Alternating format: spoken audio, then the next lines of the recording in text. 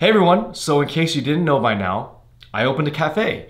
Um, it's one of the most challenging things I've ever done in my life, and I wanted to take you through part of that process through this short series. Special thanks to Squarespace for sponsoring this video and supporting this journey. For anyone who's been thinking about starting a cafe like me, launching a new business venture, or making a big transition, Squarespace can help you as you embark on your next chapter and help you grow your online presence. I hope you guys enjoyed this look at how Bopomofo Cafe came to be.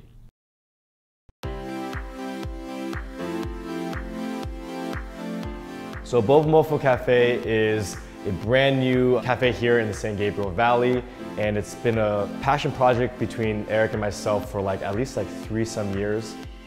Bopomofo is actually the first four symbols of like the Mandarin phonetic alphabet. It's basically like saying ABCD in Chinese. That's kind of like the whole theme of our cafe and menu and the vibe, like a little bit of nostalgia, a little bit of appreciating the culture that we came from, and mixing it with like our American heritage as well.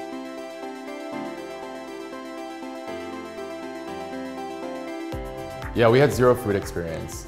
I think my love for food and hospitality is kind of like what I count as food experience. Yeah, I know how to like make a steak. That's not food experience. That's like everyone doesn't have food experience. Other than working at cafes like ourselves like in college, it was just a strong enthusiasm for food ideas. Yeah. And also for me, like looking at other cafes or restaurants and literally thinking, I could do this or I could do this better than other places that I went to. We believed in ourselves and each other, right? Right, right. Yeah, and that's actually what carried us through. Right, right.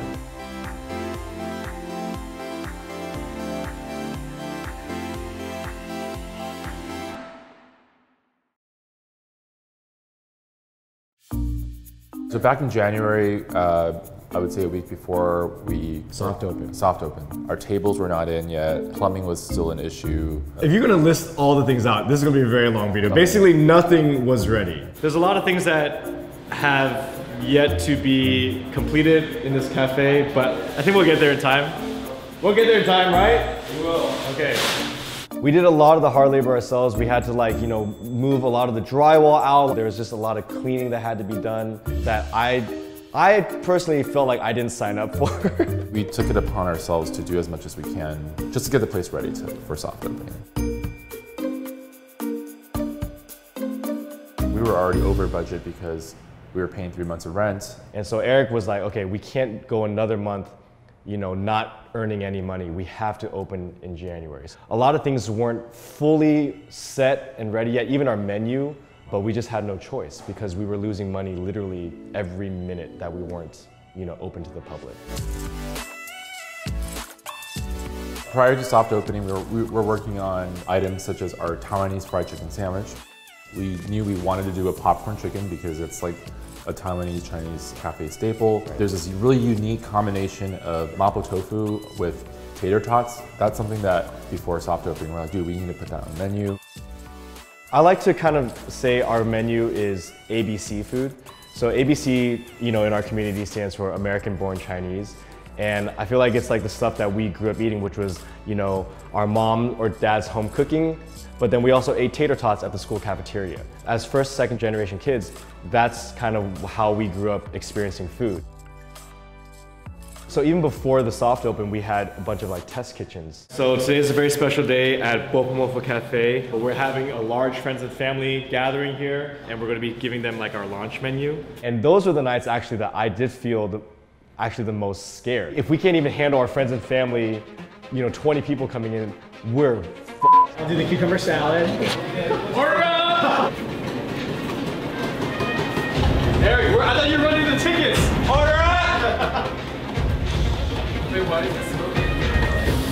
Wait, This is the first time that Andrew's cooking in our kitchen because it's the first time that our kitchen's been cleaned.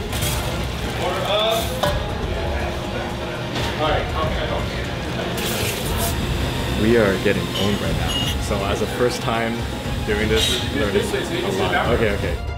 I remember cleaning up that night and just thinking, what did I get myself into? I was like, we're so not ready. You should have seen my watch on on Sunday's test kitchen. I was like, my heart rate was like 110 the whole time. So Andrew Park is our head chef.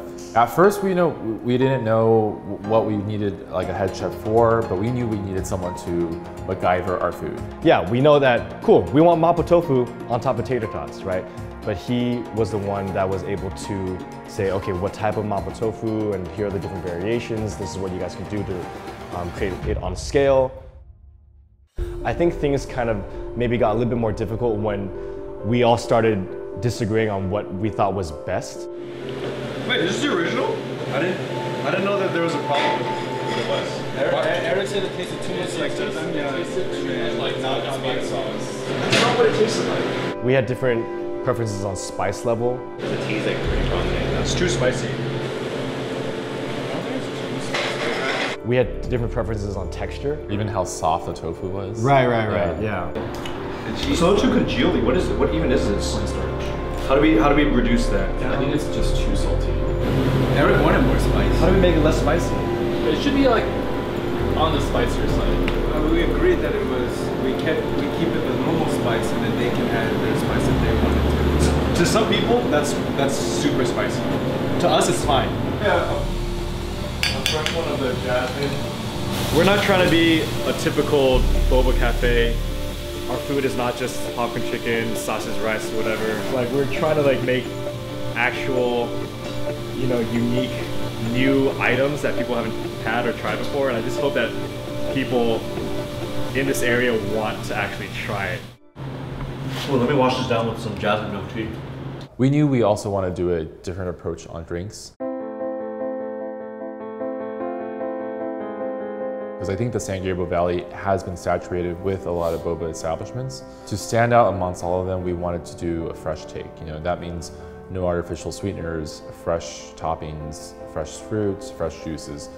No Uh, powder creamer. No powder creamers. It's two percent? Um, can you do two percent with full sweetness? Yeah. we knew that we were going to be judged pretty hard. You know, like everyone grew up in this area with so many boba options, and what we were offering was very different. And I think, you know, we just wanted to make sure that our first impression was really good. I was really nervous about that, and, and to be honest, a lot of it was education.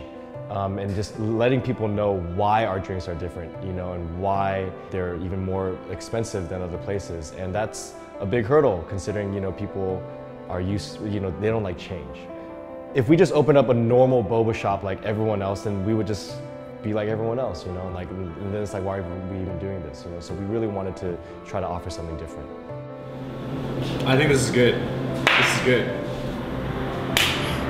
Hey! Did you guys try this yet already?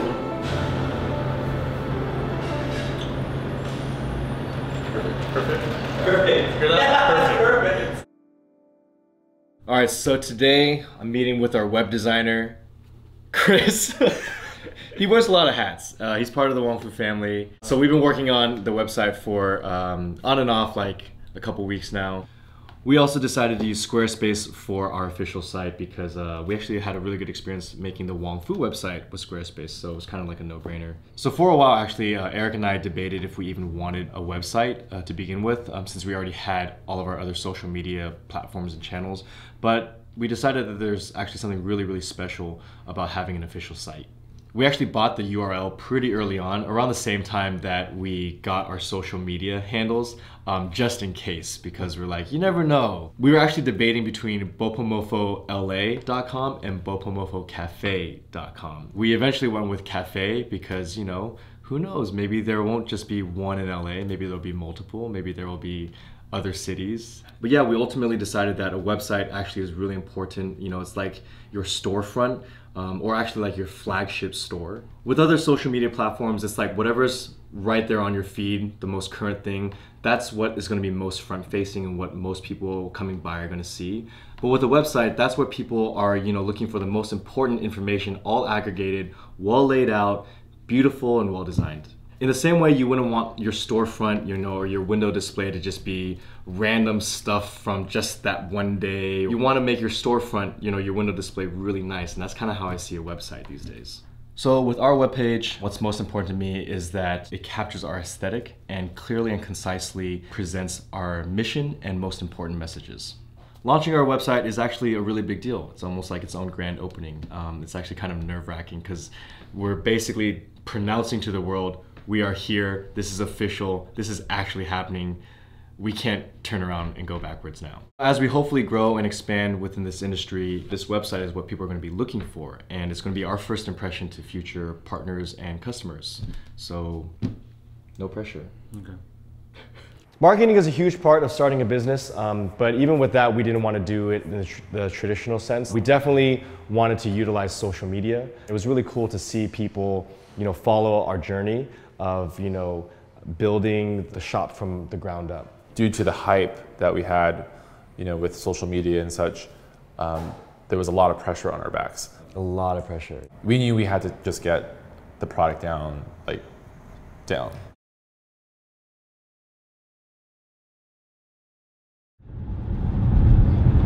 Oh, what up earlier today? Wong Fu YouTube star gets into boba game with San Gabriel shop. Bopo Mofo Cafe brings tea, coffee, and Chinese American culinary mashups. Ah! Phil Wang, one half of Wong Fu Productions, along with business partner Eric Wang, are taking over a 20-year-old Chinese restaurant in San Gabriel and converting it into Bopo Mofo Cafe to open mid-February. Look for a soft opening later this month with limited hours and menu. Hey! Yeah! Our first, that's a main, this is mainstream LA Is it mainstream? food, LA food. Yeah.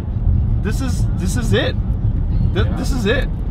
Yeah. It got published already? Wait, what? What the f? You said soon. I didn't think it's like today. Later. I was gonna mark this up like to be like Wong Future Star and Eric. Yeah, you should.